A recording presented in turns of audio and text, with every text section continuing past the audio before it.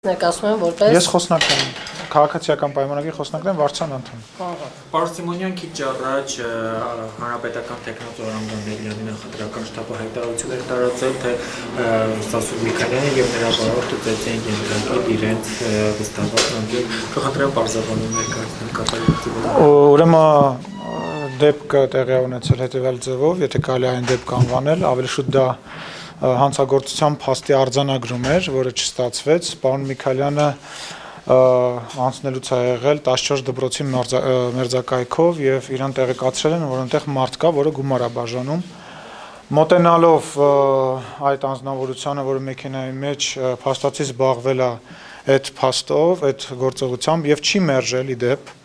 Հա, այն հարցին թե ինչ ես անում, այդ փողես բաժանում եւ այլն, նա դուրս է եկել,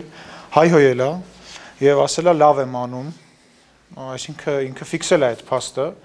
եւ դիմել է փախուստի որից հետո բնականաբար պարոն Միքայելյանի նման անձնավորություն դժվար թե վազեր կամ որից է մեկը վազեր իր հետևից դիմել է փախուստի Հա, ինչ վերաբերվում է Արամ Դանելյանի շտաբի տարածած հայտարարությանը, շատ հետաքրքիր մի բան կարող եմ արձանագրել։ Տեսեք, երբ որ Արամ Դանելյանի շտաբի պետերից մեկը հարցակում գործեց ինձ վրա, ես այդ ամենը ֆիքսեցի եւ զանգահարեցի ոստիկանություն։ Նման բաներ տեղի չի ունեցել, ինչքան գիտեք, անձը հայտարարել է, որ ինքը եսին որտեղ նստած է եւ նույնիսկ բժշկի դիմելու ցանկություն չունի։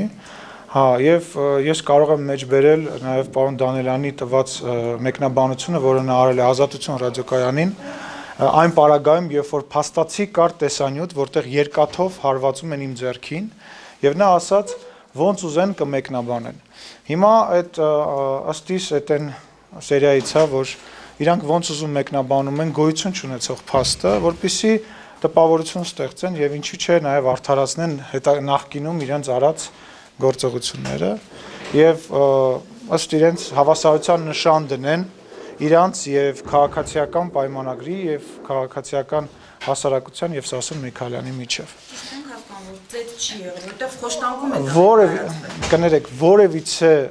կոնտակտ չի եղել այդ մարդը դիմել է փախուստի իդեպ հականատեսները նշում են մենք ուզեցել ենք ինչպես տեսել եք այս քանի օրվա ընթացքում ֆիքսել այդ փաստը ֆիքսում տեղադրում եւ դիմում ոստիկանություն մարդը սեղմելով գումարը ձերքի գրպանի մեջ հայտարարել է որ լավ է անում այն հարցին փողես բաժանում ստեղ ասել է լավ եմ անում հայհոյել եւ դիմել է փախուստի այսինքն մնացածը ես չգիտեմ, այդ մարդը թող գա, ասի, ինչի՞ է, չեմ հասկանում, ասենք, ուրա, ինչ է նշանակում, եթե իրան խոշտանգել են, ինչու չեն դիմում ոստիկանություն, եթե իրան հարվածել են, ինչու չի, ինչի է հրաժարվում դիմել բժշկին։ զբաղվում են այդ հարցով։ Թող զբաղվեն, ես որևիցե ավելացնելու բան չունեմ այդ հարցի շուրջ, ասացի, նման դեպք տեղի չի ունեցել, որևիցե մեկը, որևիցե մեկին չի հարվածել, այդ մարդը ընդունել է, որ ինքը զբաղվում է փող բաժանելով եւ դիմել է փախուստի։